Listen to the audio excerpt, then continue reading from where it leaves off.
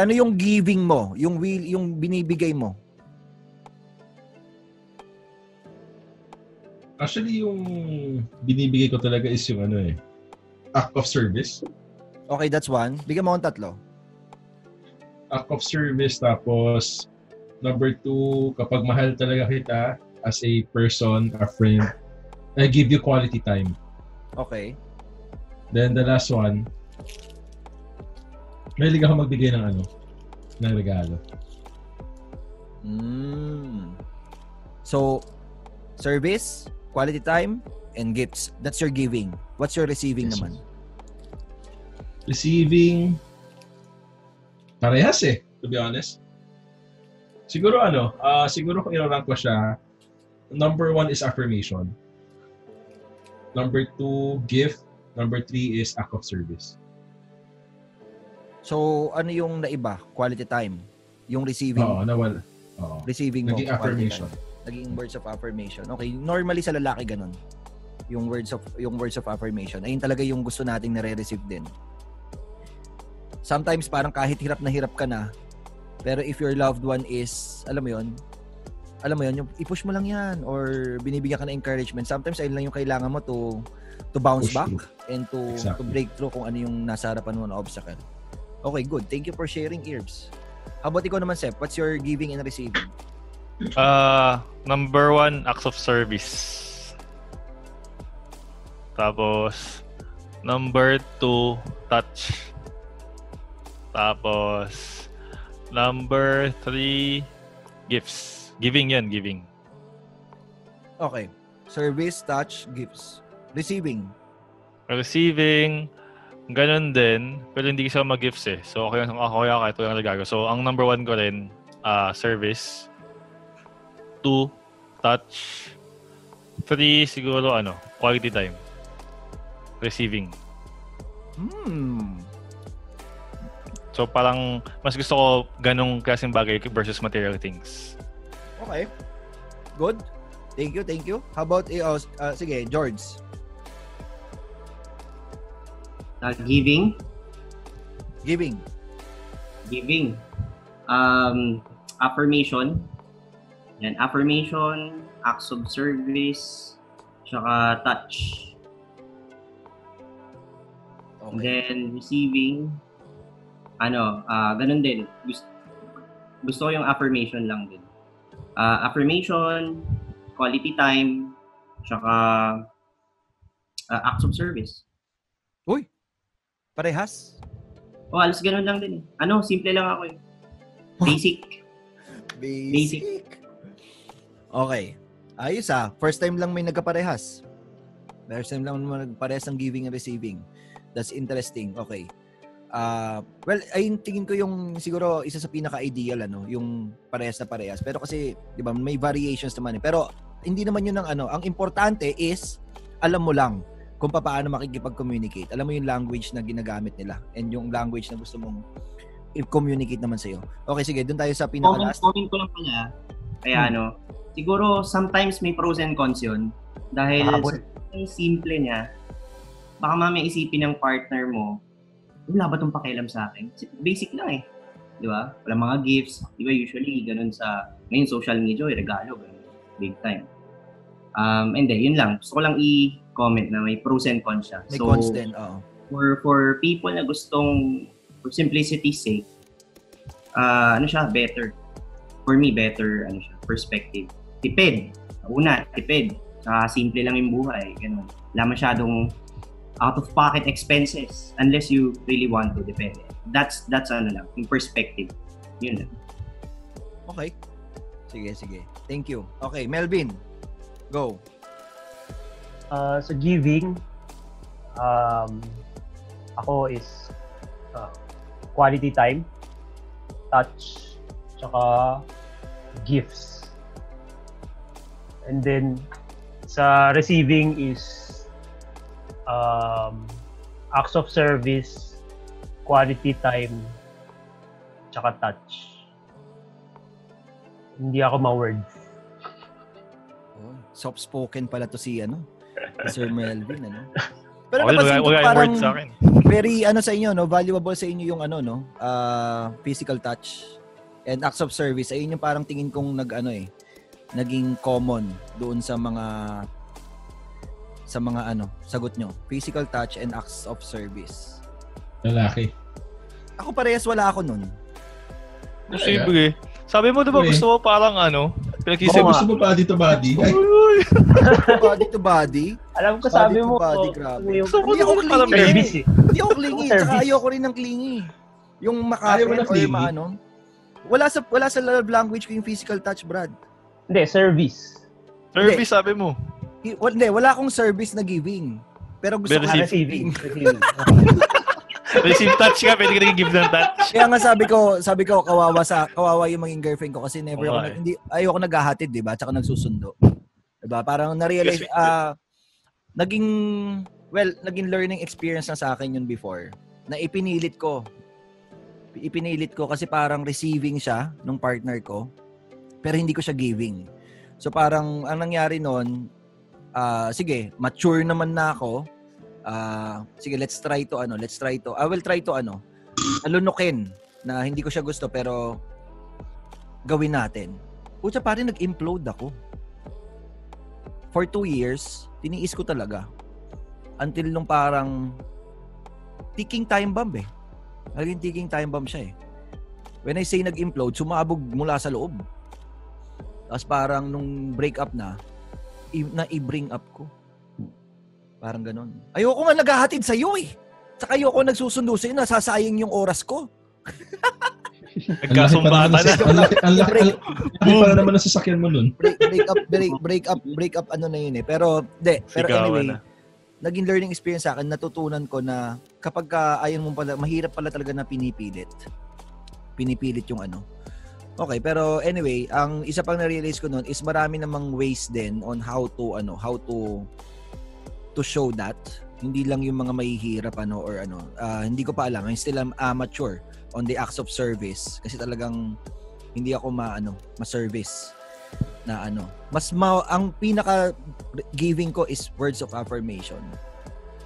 Ang kailangan mo ng words of affirmation, I can give that to you uh, without any hesitation or without any hassle. And receiving, ayoko nga sabihin. Hindi. Touch. Number one. Ang receiving ko is acts of service, number one. Number two is gifts. Kaya nga pagka binibigyan ako palagi ng mga kung ano-ano niya ni, ni Herbs, he is speaking my language. Kaya mas nagiging close kami. Gifts and words of affirmation. Ayun yung tatlo ko. Service, gifts, and words of affirmation. Giving ko naman is gifts.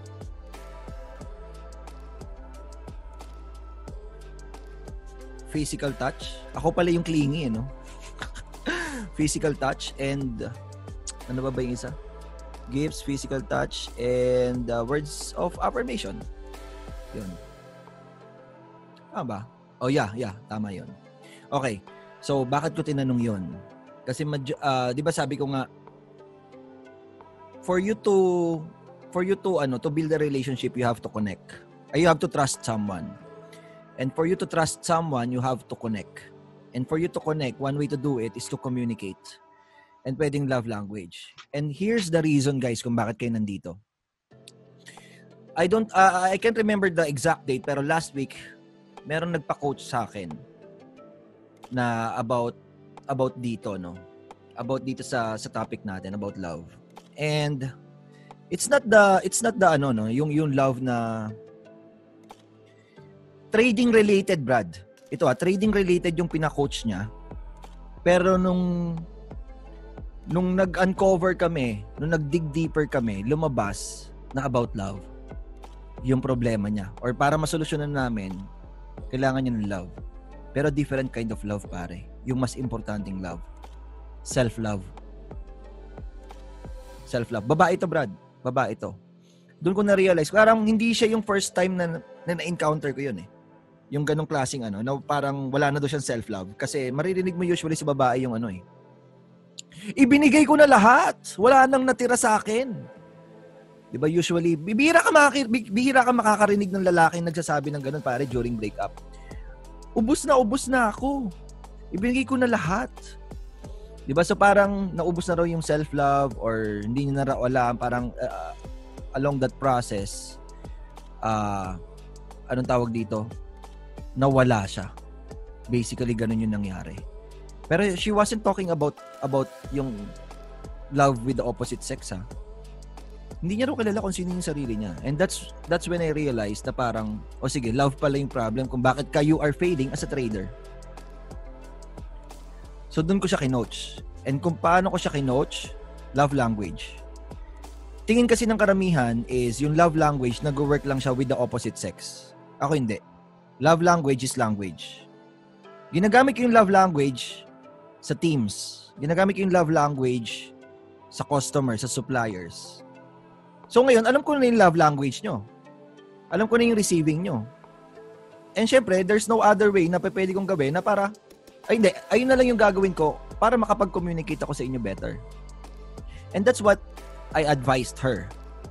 Sabi ko, for you to love yourself, just use lang love language. Sabi niya, ha? Paano yun, Kap? Sabi ko, ano ba yung mga receiving mo? And then sinabi niya sa akin yung mga receiving niya. Sabi ko, gawin mo sa sarili mo yun. Sabi niya, quality time. Ayun yung gusto niyang naku- nakukuha sa ex niya, sa boyfriend niya. Sabi ko, bigyan mo ng quality time yung sarili mo. Pamper yourself. Magpaspa ka, magpakaano ka. Di ba? Sabi niya, gifts din. Love language niya is also gifts. Sabi ko, reward yourself. Kapag ka meron kang wins, you have to reward yourself. Di ba ganun naman eh, kung papaano ka kasi uh, ang pinakamadaling way para mapuno yung love tank natin is to get it from is, to get it outside from someone else. Kaya nga ang formula na alam ng karamihan about love is love with the opposite sex. Pag sinabing love, jowa. Ayun, ayun yung formula. Kasi ayun yung formula na ibinigay sa akin. Ay sa atin, sa atin lahat. And marami nagtatanong sa akin, Kap, bakit wala kang girlfriend or bakit wala kang jowa? Sabi ko, uh, parang sabi niya, hindi ka ba na in love or ano? Sabi ko, doon lang ba nakukuha yung love? Sa jowa lang ba? Kaya tinatanong ko palagi, anong definition mo ng love? Usually kasi ganun. Kaya sabi ko doon sa ano, wag sabi ko doon sa akin, ko, wag ka muna mag-ano, magbo-boyfriend. Kasi the worst reason para magkaroon ka ng boyfriend is because you're lonely. 'Di ba? Naghahanap ka ng love dahil wala kang maibigay sa sarili mo, kaya ka hinahanap mo siya sa iba. Sabi ko that's unfair. Kaya let's start, you need to start to to love yourself. And to do that, you have to speak your language. Sabi niya, oo nga no, hindi ko nire-reward yung sarili ko. Lahat ng pera ko, napupunta sa ibang tao, sa family, sa kapatid, siya nagpapaaral sa kapatid. Wala siyang napupunta sa kanya. Gusto niyang bumili ng bagong cellphone, gusto niyang bumili ng bagong damit, bagong sapatos, wala. Sabi ko, paano mo minamahal yung sarili mo? Ako, Irbs, ikaw, alam mo to, di ba? Na gifts yung isa sa love language ko. And alam mo kung paano ako mag-shopping. Paano ako mag... Di ba sabi ko nga sa'yo, parang pag pumunta ako ng UP Town Center, minsan, minsan Brad, ang, ang, ang goal ko lang, pumunta sa UP Town Center, bibili lang ako ng stapler. Tapos, naka, pagkaalis ko ng UP Town, nakagastos na ako kunyari 20,000, 25,000. Ewan ko, kasi, di ba reward eh? Sabi ko parang, pag ay, nandito na rin naman ako eh. And may play fund naman ako eh. Sige, gastusin na natin yung play fund. I have to reward yourself. Kaya ako, gustong gusto kong binibigyan ng gift yung sarili ko. Sometimes, ito alam din ni Earps to, sometimes hindi ko nga ginagamit yung mga ano eh. Yung mga gifts na yun. Binibili. Yung mga binibili ko. Meron ako, kunyari, let's say yung, um, may binili ako two years ago, yung DJI Osmo Pocket ba yun na camera? Never ko pang binuksan. Binili ko lang kasi gusto ko siya noon. Pero never ko siyang binuksan. Pero during that time, nafe-feel ko na I am speaking my love language. I'm loving myself during that time. Kasi gifts, giving gifts, or receiving gifts, yung isa sa love language ko. And parang ganon. Kung, pag, kung tatanungin mo ako, kung mahal, mahal ko yung sarili ko, mahal na mahal ko yung sarili ko. Kasi kung ano yung mga, yung love language ko, ayun yung una kong ginagawa para sa akin. Hindi ko na kailangan na kunin siya sa iba dahil kumbaga parang ano naman ako na ano na naibibigay ko sa sarili ko yon. So yung love is sa ibang bagay ko siya na i na ibibigay. Kunyari, let's say, sa students. Hindi loving the students, ah. Iba yon. What do you mean? What do you mean, sir? Kindly Yung, expound. sa mission, especially sa mission, Brad. Especially sa mission. Martin Luther King, mahal niya yung mission niya. Nandun halos napunta yung, yung love. JFK, mahal niya yung country niya. Di ba? Yun yung mga leaders na nilook up to ko eh. Ganon din. So, basically, may iba't iba tayong definition ng love eh. Pero, it all boils down yung, eh, ayun nga, same yung mga ano, nandun yung trust, nandun yung relationship, nandun yung connection, etc. And that's why we need to communicate. Now, here's the quest. Ito na yung ito na yung ano. So, introduction pa lang 'yun. Kinabahan na ako, sir. Introduction pa lang 'yun. Kasi about self-love. And for you to love yourself, kailangan mo rin ma-discover yung sarili mo. So, ito na yung challenge natin, kapanalig.